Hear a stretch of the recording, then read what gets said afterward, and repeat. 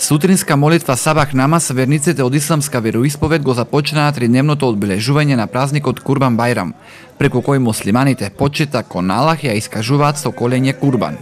Со овој празник се крунисува джилакот, кој важи за петиот темел на исламот, кој според верниците е доказ за солидарност и благосостојба.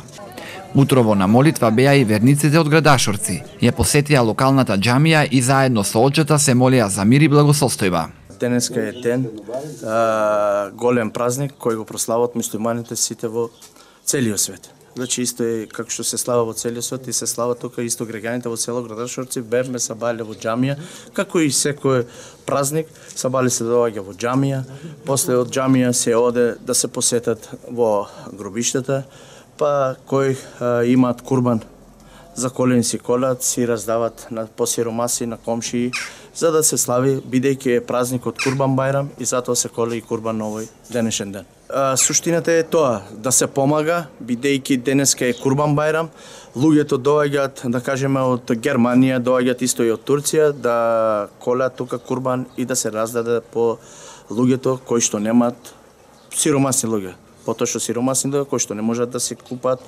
месо, точно, И така да овој ден е ден специјално само за Курбан Бајрам. Се коле курбани се раздава по граѓаните, по сиромашни луѓе што го слават празникот. За сите е празник, ама посебно тие сиромасни луѓе да ги охрабриш, да ги е,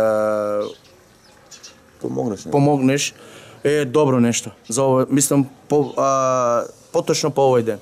Веднаш по завршувањето на молитвата тие беа послужени со локом и празникот им го честиташе и првиот човек на општината Ванчо Стојанов, кој донираше прехамбени артикли за верниците. Курбан Бајрам секогаш е дополнителен повод муслиманите да извршуваат добри дела.